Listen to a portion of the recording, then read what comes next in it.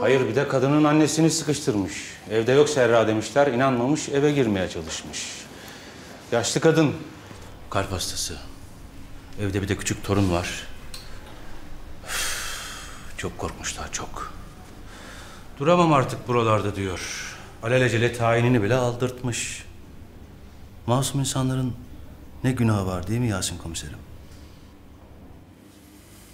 Tabii, tabii. Çok haklısınız. Babası gitsin başsavcıyı öldürsün. Bu eşkıya gibi yol kessin. Olacak şey mi? Siz hiç merak etmeyin.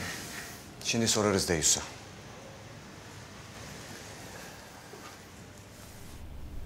Unutulmayacak bir hesap olsun Yasin. Keza bir daha dert çıkarmasın. Evet, alakanız için minnettarım. Bir yere davetliyim. Artık çıkmam gerek. Bir daha bir şey olursa siz zahmet etmeyin. Biz geliriz.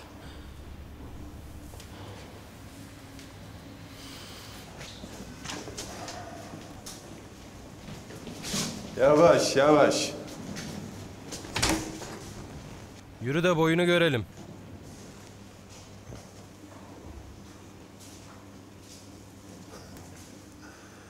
Kaç kişi alacaksınız ifademi?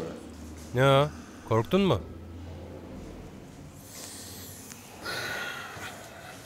Korkan ben miyim? Şş, efendi ol. Sen devletin memurusun, adaletli ol.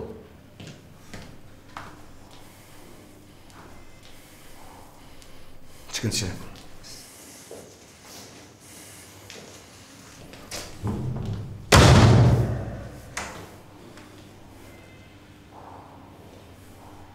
Ulan seni işe aldık da haberimiz mi yok ha?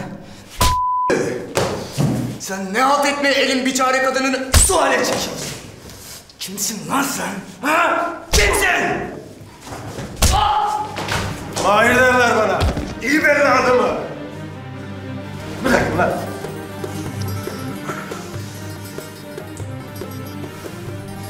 Senin adını da, ananı da.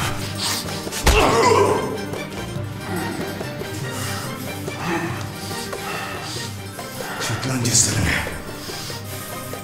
Çek gözlerini. Çek! Bakma lan. Bakma!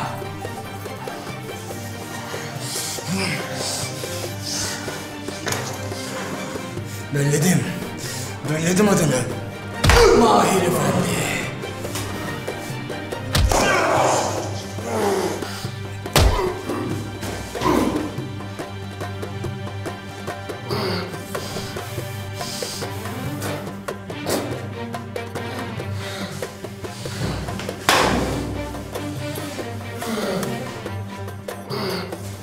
Şimdi sen benim adımı belli.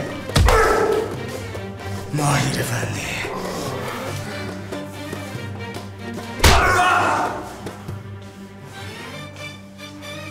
Ben de Yasin.